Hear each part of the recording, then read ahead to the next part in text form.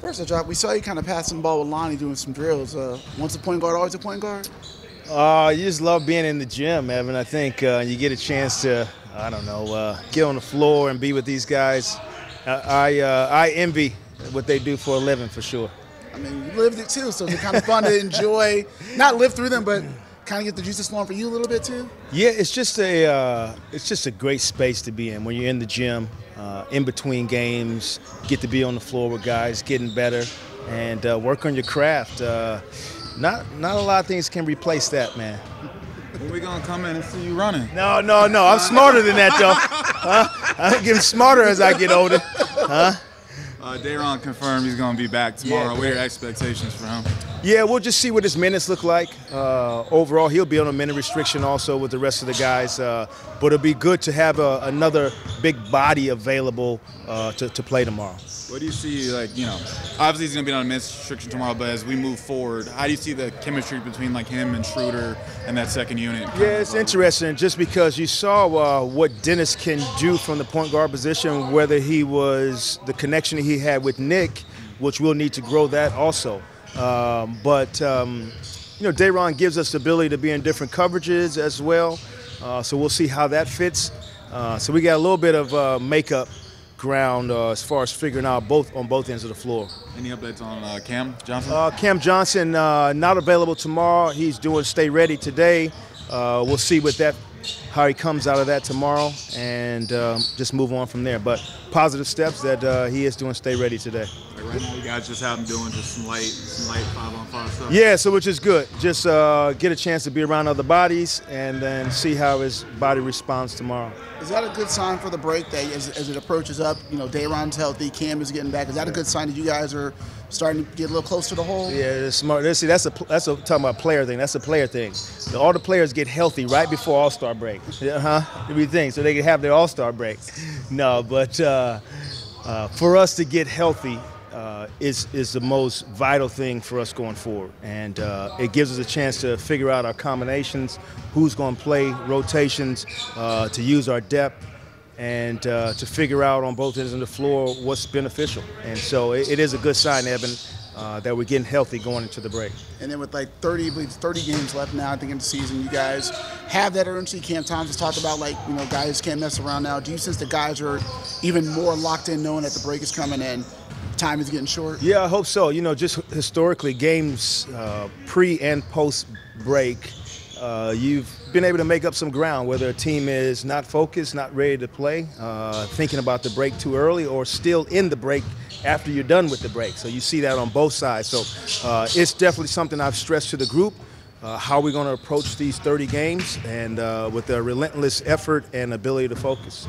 Against San Antonio, how quickly were you to adjust from player combinations that you wanted to see going into the game versus sticking with what was working?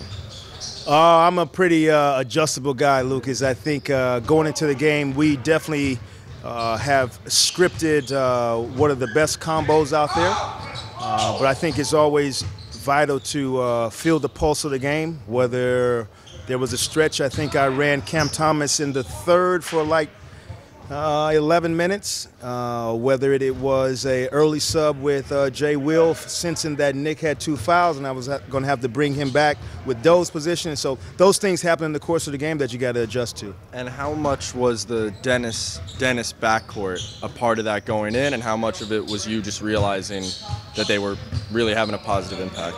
Uh, that was me wanting to see that. So I subbed those two at the same time to, to come into the game to get a, a sense of can they in fact, play both together.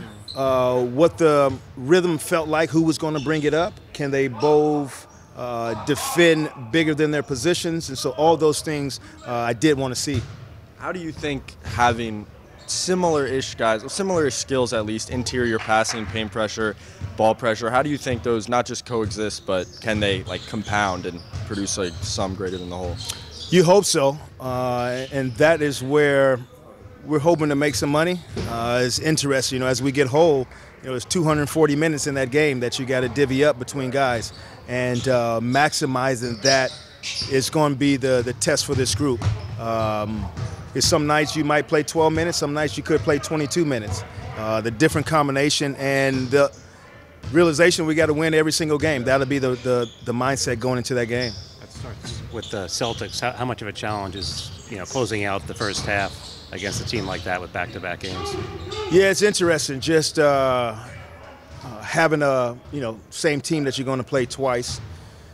I think overall it's just a heck of a challenge for us. Uh, they'll make you focus or you'll pay for it on both ends of the floor. Uh, they're just so good at manipulating matchups and using their, their skill set to, to get shots that they want. And then they figured out how to cover for each other uh, on the defensive end of the floor. Uh, guards that are big and strong and use that ability to uh, get you where they want to. So this is a, this is a game of want and, uh, and purpose for sure.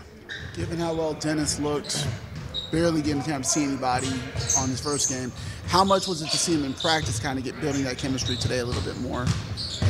Yeah, that's that's the goal. These guys got to feel and sense, uh, you know, because he, he, just has different movements than um, uh, a previous pick and roll could look different than a week ago than it does with Dennis. And uh, getting our bigs to to feel that, you got to go through practice with that a little bit.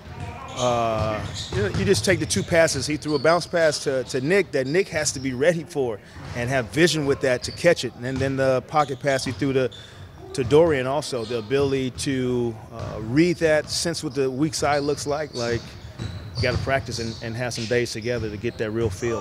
And when's the last time you had a point guard that wears a beanie throughout practice?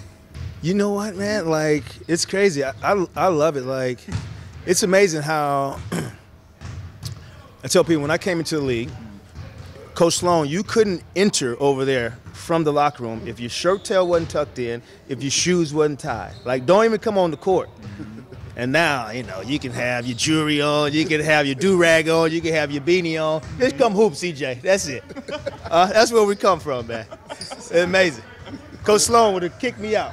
I was going to ask you about that one Trendon sequence where he had a rotation at the rim yeah. and he ran the floor and dished it off to Ben, who got fouled. Is that the type of stuff he needs to do more, coexist with other ball handlers to be in the rotation? Yeah, it's interesting. You know, his just becomes, again, it's a matter of minutes and right. then the combinations that you can have out there on the floor for him. So, you see that he's probably most effective when he has the basketball in his hand. So he can play DHO, he can run keeps. We ran a, away for him, which he kept and turned and, and, and turned the corner. So the combinations around him have to be like on point for him to be maximized. Right. And uh, and that's always going to be the challenge.